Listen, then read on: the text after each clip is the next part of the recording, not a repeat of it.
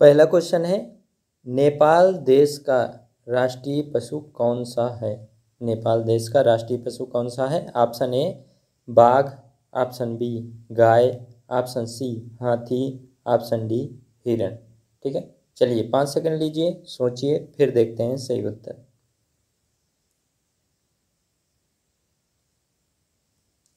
चलिए, देखते हैं सही उत्तर। सही उत्तर है option D sorry option B गाय। ओके? ऑप्शन बी गाय नेपाल देश का राष्ट्रीय पशु है। जानते हैं और नेपाल के बारे में?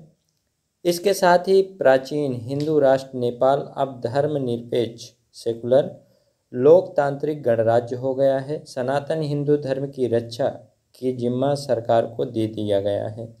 हिंदू धर्म में पवित्र माने जाने वाली गाय को राष्ट्रीय पशु घोषित किया गया है। राजशाही की जगह नेपाल अब संघीय गणराज्य होगा। ठीक है? हो गया। तो ऑप्शन बी, करेक्ट आंसर है, नेपाल देश का राष्ट्रीय पशु है, गाय। अगला क्वेश्चन।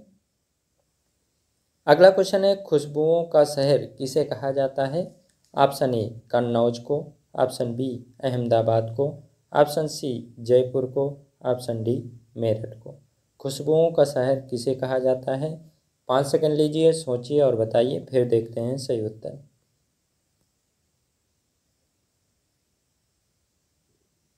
चलिए देखते हैं सही उत्तर। सही उत्तर है ऑप्शन ए, कन्नौज को। कन्नौज को खुशबुओं का शहर कहा जाता है। ऑप्शन ए, करेक्ट आंसर है। अगला क्वेश्चन। हाँ विश्व में सबसे अधिक डाकघर किस देश में हैं? आपके ऑप्शन है, option A, Bharat, option B, चीन, option C, Pakistan, option D, America. विश्व में सबसे अधिक डाकघर किस देश में है? पाँच सेकंड लीजिए, सोचिए, फिर देखते हैं सही उत्तर।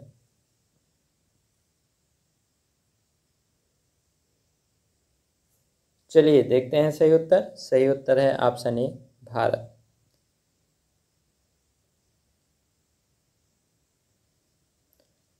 विश्व में सबसे अधिक डाकघर भारत में है। भारत में लगभग एक लाख पचपन हज़ार छः सौ अठारह डाकघर हैं।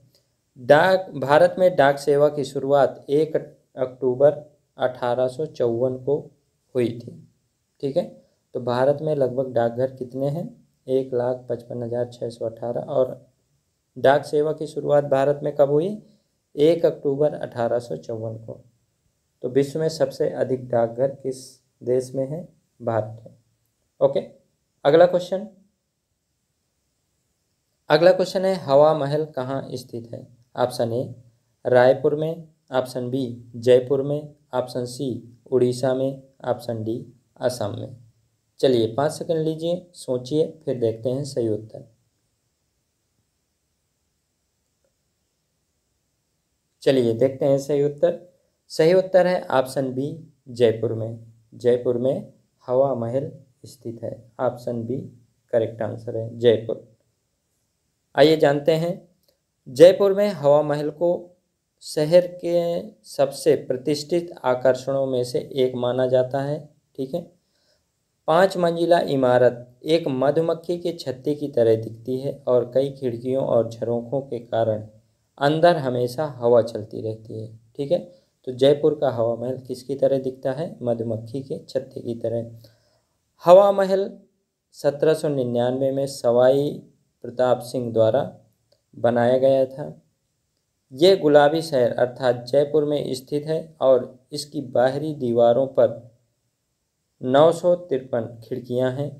यह महल के माध्यम से ठंडी हवा आने और गर्मियों में इसे ठंडा और हवादार रखने की अनुमति देता है। आप एक्सप्लेनेशन दोबारा पढ़ लीजिए। करेक्ट आंसर है ऑप्शन बी जयपुर। जयपुर में हवा महल स्थित है। अगला क्वेश्चन अगला क्वेश्चन है, सबसे कम क्षेत्रफल वाला राज्य कौन सा है? ठीक है? Option A Rajasthan. Option B Uttar Pradesh. Option C Goa. Option D Madhya Pradesh. चलिए, पाँच सेकंड लीजिए, सोचिए, फिर देखते हैं सही उत्तर।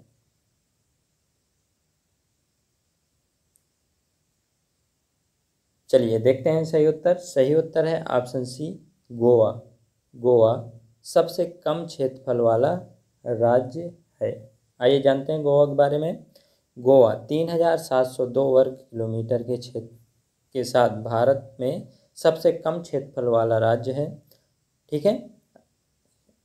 एक फैक्ट और देखते हैं। राजस्थान भारत का सबसे बड़ा और गोवा सबसे छोटा राज्य है। ठीक है? राजस्थान का क्षेत्रफल तीन लाख बयालीस हज़ार दो सौ उनतालीस वर्ग किलोमीटर है।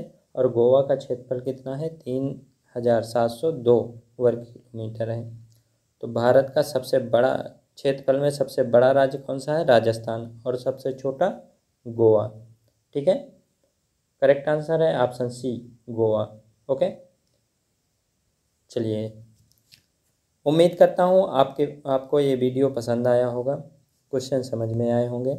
अगर अभी तक आपने चैनल सब्सक्राइब नहीं किया है तो चैनल सब्सक्राइब कर लीजिए ताकि आने वाले हर वीडियो की अपडेट आपको मिलती रहे। मिलते हैं अगले वीडियो में, तब तक के लिए बाय।